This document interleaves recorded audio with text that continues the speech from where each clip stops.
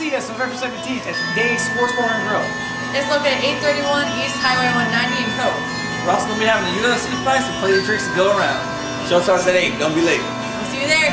Go Aeganova! Go Nova! This is Dave, and I approve this message.